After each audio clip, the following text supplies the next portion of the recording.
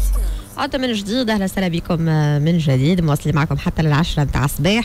نعم نطلع بطبيعة في آخر أخبار الصحة آه وآخر المقالات الموجودة اليوم. نمشيو إلى موقع الجزيرة ونلقاو آه مقال مقال بعنوان سابقة فريدة عالميا واللي نحكيو على شفاء مريض السكري اللي تم علاجه بالخلية كيفاش هذايا طبعا نجح فريق من العلماء والأطباء الصينيين في علاج مريض مصاب بالسكري باستخدام العلاج بالخلية.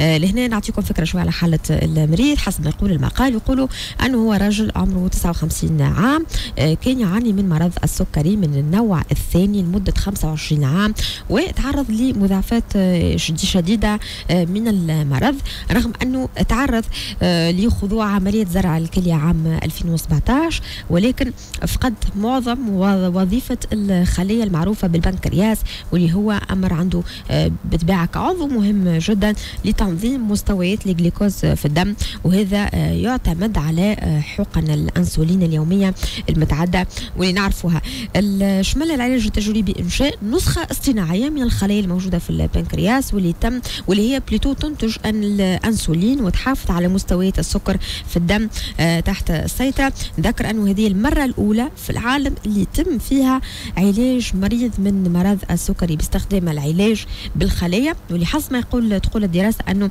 نجحت العملية هذه.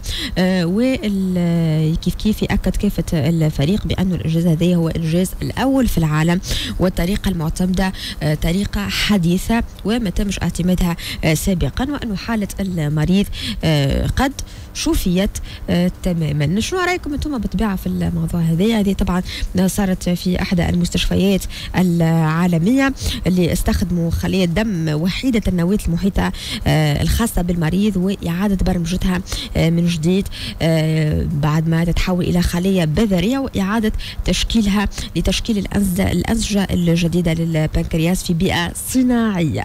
هذه طبعا الأخبار اللي اليوم حابين نعمل عليها قراءة معاكم. اراكم تخليوا هنا في كومنتير. يا 8 و29 دقيقة آخر الأخبار الجهوية العالمية والوطنية في موجز أخبار 8 ونص بعد دقائق.